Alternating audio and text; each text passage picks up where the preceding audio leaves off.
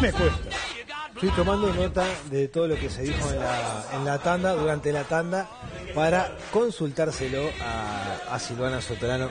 ¿Cómo estás? Bienvenida. Bienvenida, Silvana. Feliz. Silvana Sotorano. Bienvenida, Silvana. Feliz año. Feliz año para ustedes. Qué lindo estar acá en el 2016. No. Qué lindo, ¿no? No, me preocupa. Me preocupa un poco si los temas que se van a dar a lo largo del año tienen que ver con este. Tenemos que preparar más algunas. No, y algunas seguíamos cosas. hablando como aquella. Verano. eh, Exactamente. que- En verano es otra Estamos cosa. en ¿verdad? modo verano. Estamos en verano. ¿Eh? Distendido. Bueno, pasaron bien. Muy bien, muy Sí. bien. El lunes pasado no los acompañé, pero bueno. Se notó, ¿eh? Siem- Se notó, se notó. Bueno, me alegro. O sea, nos soltaste. Me lo solté un poquito, un ratito nada más. Nos y- agarraste ahora. Y ahora los volví a agarrar. Este, ¿Qué tema hoy? Arrancar el año hablando de esto. No, en realidad, cuando empecé a pensar un poquito en qué cosas me gustaría decir hoy, pensé que empezar un año eh, siempre implica tener como esperanzas de poder cambiar algunas cosas que venían no resultándonos.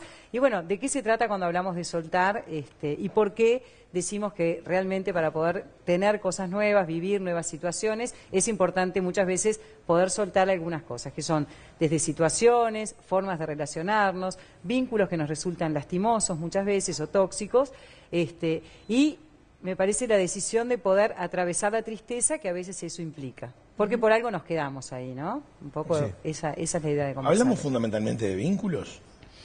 Sí, en realidad, eh, en un punto todo termina siendo vincular, porque en realidad tiene que ver con la relación que uno establece, o con formas de pensar, o con formas de resolver, eh, elecciones que uno hace a lo largo de la vida, eh, y ni que hablar con personas o trabajos. A Claro. veces, a veces estamos en los uruguayos sobre todo tenemos como mucha eh, mucha recurrencia a la queja, a esa queja que nos deja como achatados, sin ver posibilidades de cambio, cuando en realidad eh, en la mayoría de los casos, y por lo menos en los que queremos hablar hoy, eh, el cambio viene siempre desde el movimiento que uno puede hacer, ¿no? El uruguayo, por eso decía, eh, tendemos a, a ser quejosos, inclusive si nos vinculamos o nos pensamos con, con pueblos muy, muy cercanos.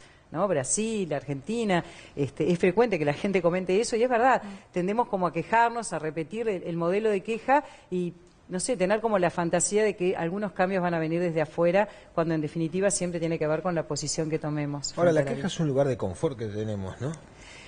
Sí, en realidad eh, es, un, es un lugar eh, que nos deja eh, sin ejecutar.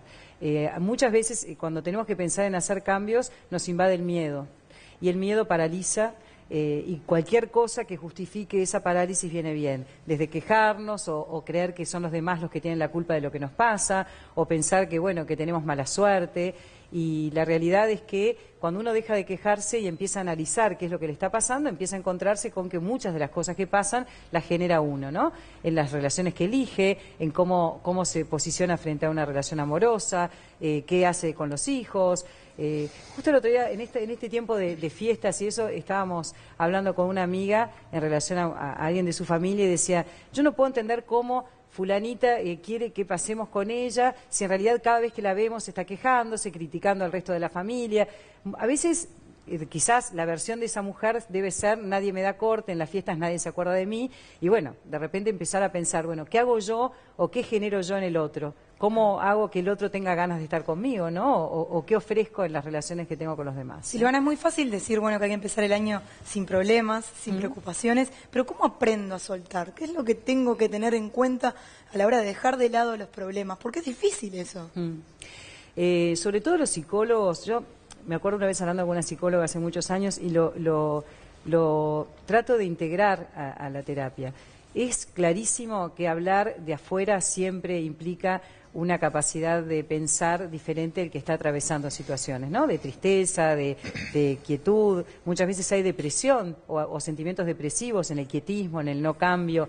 Pero también es cierto que hay un punto donde uno, eh, sin llegar al extremo de decir uno elige ser feliz o no, porque a veces no es tan fácil, no es tan consciente lo que nos acerca al dolor, eh, sí ser conscientes de que hay algo que se llama voluntad y que se llama elección. Que a veces sea más difícil ver ese camino, es real. Los que hemos trabajado y los que trabajamos en el área emocional, sabemos que la gente, yo a veces me río y les digo, bueno, nadie se sienta de mañana y se hace un mate a pensar cómo puedo hacer para que hoy me vaya mal o cómo puedo hacer para jorobar a la gente que quiero y sin embargo a veces hacemos cosas que nos hacen mal o tenemos actitudes que perjudican a los que queremos. Pero sí entender que bueno, que hay algo de lo que tiene que ver con la voluntad.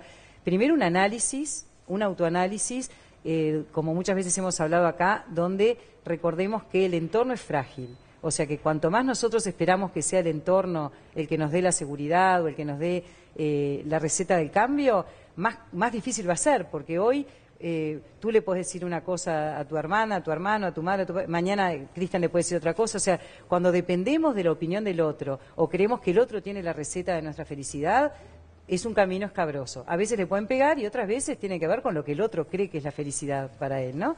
Entonces, primero, entender que hay algo de la pregunta personal que hay que hacerse. Cuando nos está yendo mal, cuando eh, seguimos repitiendo situaciones que nos duelen, primero, bueno, ver, siempre cuando uno repite cosas hay un beneficio secundario que no siempre es tan claro.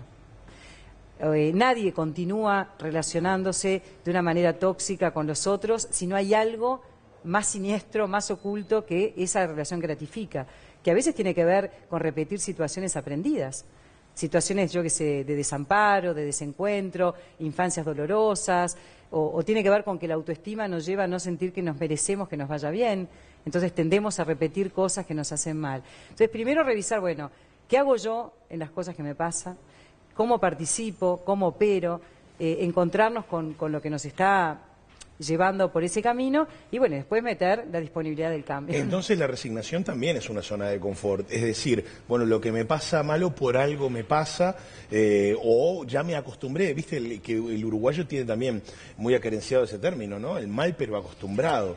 Sí, en realidad la resignación es un término que suena como denso, ¿no? Como esa cosa... Eh, me gusta más la palabra aceptación. aceptación. En realidad la resignación eh, resignarse a algo que podemos modificar no debería de tener mucho sentido. Algo que nos duele, que nos, que nos hace mal, resignarnos a eso debería ser lo contrario a lo que uno tendría que hacer en la única vida que tiene, ¿no?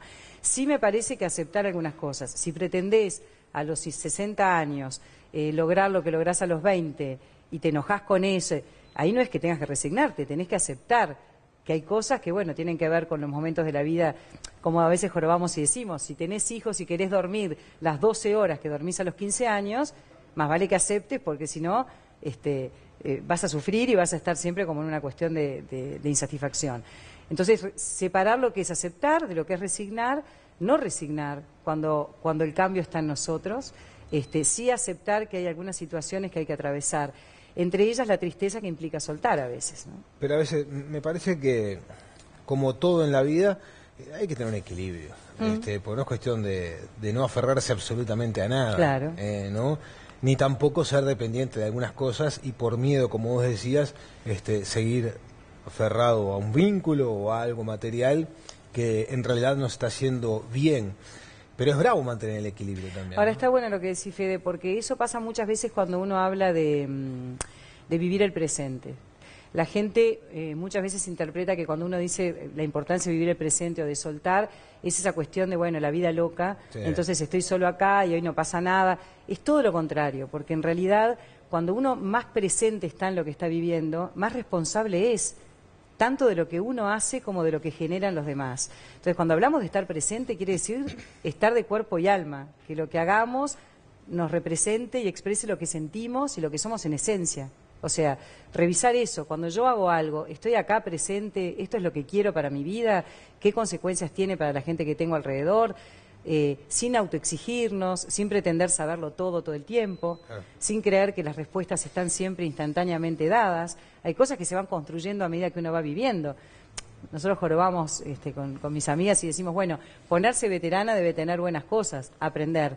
Aprender es algo que te da el tiempo muchas veces. Te falta todavía. ¿eh? Bueno, ya, sé, pero bueno, en realidad todavía estamos, este, creo que uno aprende hasta el último día, hasta el último día de la vida, ¿no? Entonces, cuando hablamos de soltar, tiene que ver también con esta cuestión. No es soltar en el sentido de nada me importa y suelto todo es, después de un autoanálisis, de ver qué es lo que nos pasa, de ver cómo nos vinculamos, de revisar qué es lo que queremos, bueno, veamos qué es lo que tenemos que soltar, porque este, había, había una amiga que un día tenía un cuentito y, que era gracioso, le habían regalado un, canario. No me digas, ¿de canelones? no, no era de canelones, ah. un, canario de esos que cantan y cantan y cantan, entonces siempre decía, no puedo más, dice, además que no me gustan los pájaros encerrados, no me gustan los pájaros así en cautiverio, encima canta y yo le dije, bueno, dejale la jaula abierta.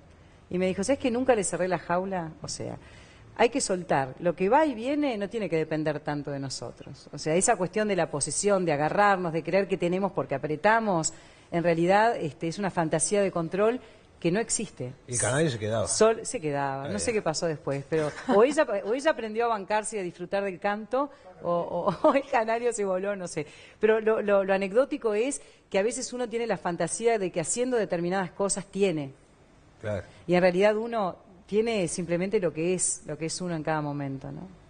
Sí, es interesante. Me acordé por ahí de una frase. ¿eh? De un canario. A ver. No, no, no, que, que tiene que ver que si, si uno ama tiene que dejar libre. Eso si es- vuelve es porque te pertenece y si no vuelve más es porque nunca te perteneció. Bueno, eso ya es más complicado. No sé. Me gustó Eso la para primera, analizar me- la primera parte me gusta, lo otro ya es más, es más consuelo de premio consuelo, ¿no? De, No Sí. te pertenece, pero quiere de que en decir realidad que, no pertenece, nos pertenecemos solo nosotros y, y a veces nos cuesta, o sea que imagínense. Bueno, pero uno quiere, por ejemplo, aferrarse a los vínculos afectivos y como dijo Eric Fromm, el amor es hijo de la libertad. el amor es hijo de la libertad, exactamente. El Mejor dicho, amor. imposible. Un aplauso para Cristian, ¿no? No, pero yo no fui, fue Eric Fromm. Yo te- fue Eric Fromm en el arte de amar. Exacto. Lo cierto que entonces el- el- la conclusión es mantengamos el equilibrio. Y ¿no? revisemos, como revisemos. decimos siempre, porque porque lo único que tenemos permanentemente somos nosotros mismos. Lo otro siempre es anecdótico. Hay, hay veces que las anécdotas son tan divinas que uno las quiere tener para toda la vida Sí, y pero- eso está bueno. Pero lo único que está desde que nacemos hasta que nos vamos, este, somos nosotros mismos. Gran ¿no? punto, Silvana. así, gran punto. exacto. Gran Silvana, punto. muy Gracias. bien. Bueno, un placer estar acá de nuevo. Por favor.